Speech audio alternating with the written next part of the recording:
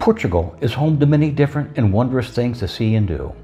In spite of the rather small population, just over 10 million people, Portugal offers natural beauty, vibrant cities, and plenty of historical culture to enjoy. I want to make a top 10 list, in no particular order, of the best places in Portugal. Portugal has great weather, and with that, there are beaches, vineyards, and mountains to explore. Across the country, remnants of the Moors, the Romans, and more can be found tucked away just around the corner in each town you visit. It was difficult choosing our top 10, and I'm sure there are some things that could claim spots on the list that I've left out. Let us know in the comments what you would have added. Bom dia. Have you ever dreamt of moving abroad, wondering how you could do it, and whether such a big change was worth it? Then you have found the right channel. With people constantly looking for their next adventure, we want to show the adventure we've embarked on so others can learn from our journey. I am Alan. My wife Leslie, son Wolf, and I are from the Midwest in the United States. Now we live on the beautiful island of Madeira, Portugal, one of the greatest adventures of our lives. Subscribe to learn from our journey as you work to navigate your own. It'll be fun. Vai ser divertido. Starting out, we begin where one might expect for our first this list, the Lisbon Old Town. Lisbon, as a city, is known for being the capital of Portugal, of course, and also its mix of college town, vibrant city life, and old historical buildings. What we chose from Lisbon for this list is its history and the charm of the old town. Riding up the side of the hill in a bright yellow tram.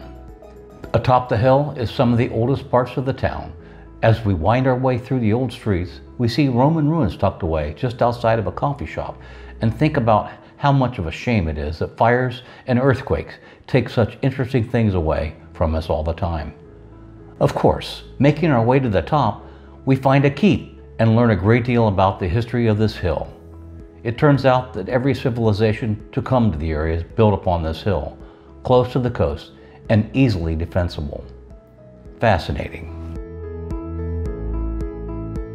Catching the train from Lisbon, we head out to Sintra for the second on our list of top 10. The Moorish Castle, a beautiful remnant of history and a beautiful site in general to visit. The castle isn't the only thing to see when you visit, with beautiful grounds to walk through. Though don't let that distract you. The site you are here for is the gorgeous, colorful castle perched atop this large hill. When we went in, it was absolutely stunning, stepping through room after room of history, learning about the ties to the rulers of the past to step out and overlook the lands below. Are you ready to move abroad? We are here to help. Please join us on Patreon and hop on over to our website and stay up to date by signing up for our newsletter at www.it'llbefunretirement.com. For number three, we'll hop up to Porto, where we decided that the Douro River and all the amenities, wineries, and tours make for an unforgettable experience. Porto has a lot to offer, and surely the Church of Gold would take our top pick, right? But no, there's something just so memorable about sitting by the riverside, just to the side of the beautiful bridge, looking across the way as tour boats and lively stalls bustle with people. It's nice to enjoy a tour of a winery, ride the cable car down, and enjoy a cost-effective wine tasting and a snack in the middle of a trip to the lively city. And for number four on our list, we hit up this very same river to the Douro Valley. Number four is the Douro Valley Vineyards, making for an amazing landscape to tour and wine so good that the house wines at small sandwich shops put some bottles to shame. In our case, we love to drive, so we ride into the valley, winding down the side of the hill as we enter. The food is great, the views are fantastic, and there is lots to do, from river tours to old road drives to tour any one of the many vineyards.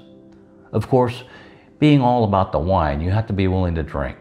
But the trip would be enjoyable all the same, ending off with a leisurely boat ride back to Porto. Now, let's step away from the mainland and talk about number five, the Fanal on Madeira Island. Madeira Island as a whole could fill this list. However, we decided to limit it to two on this list. The first is the UNESCO World Heritage Site, the Fanal. In our opinion, this should be towards the top of many lists for the best places in Europe, simply because of its historical importance. The Fanal is the largest remnant of the Laurisilva forest in Europe, which was once the forest that covered the continent. It was cut down for wood over the years until very little remained. On Madeira, these 400 plus year old trees speckle the top of the island. Some days the plateau is covered in clouds. Others, it seems like you could step out and walk on the clouds. And other days, is as if the whole world is cleared up. The views are fantastic every time.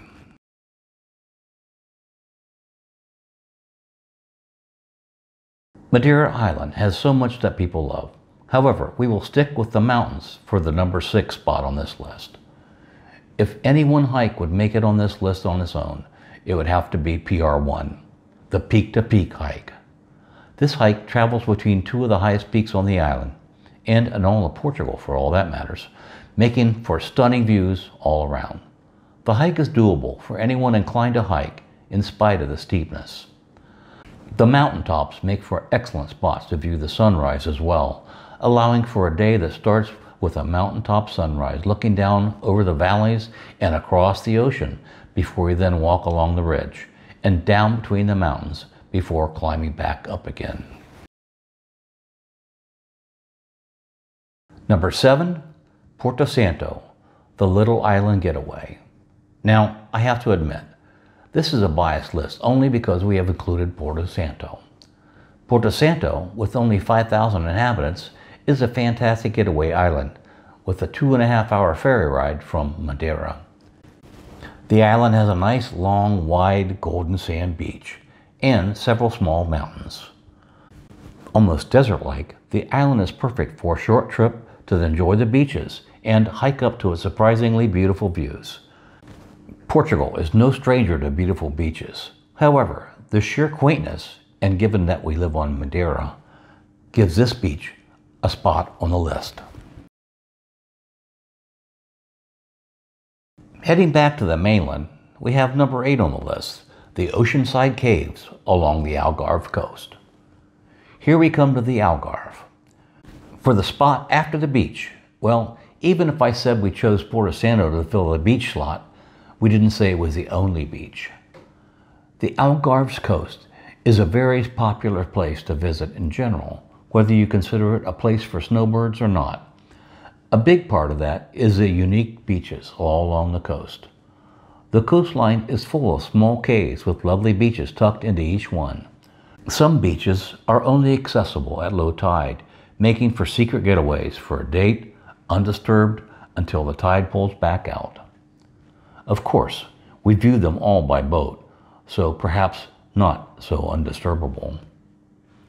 Staying in the Algarve, you can walk along the cliffside promenades to a new beach every day, throw a towel out and relax before eating good food, going home, and doing it all over again the next day. For our ninth spot on this list, we go to Evora. Known for being the capital of the region, as well as having the Church of Bones, Evora is a beautiful town, always bustling with tourists. We have placed Evora on this list as an excellent place to visit as part of the other trips throughout Portugal and for the adventure of traveling to Evora in the first place. Evora has great history, good food, and plenty of things to see and do. Last on our list for the day is Óbidos.